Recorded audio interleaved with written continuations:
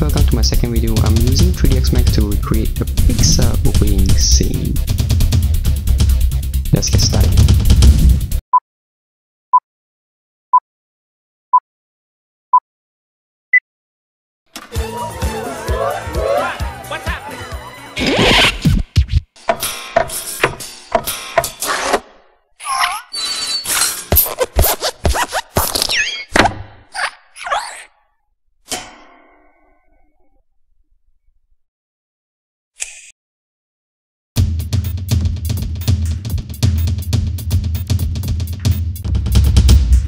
Hey, thanks for watching and don't forget to hit like or share.